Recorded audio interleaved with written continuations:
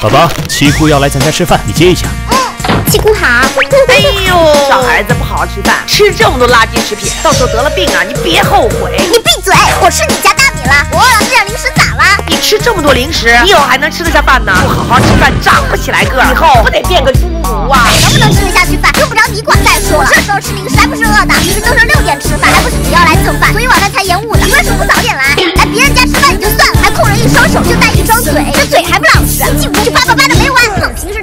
都吃完饭去学习了。你，你这孩子怎么跟长辈说话呢？看来不替你父母教训你一下是不行了。就你也想教训我？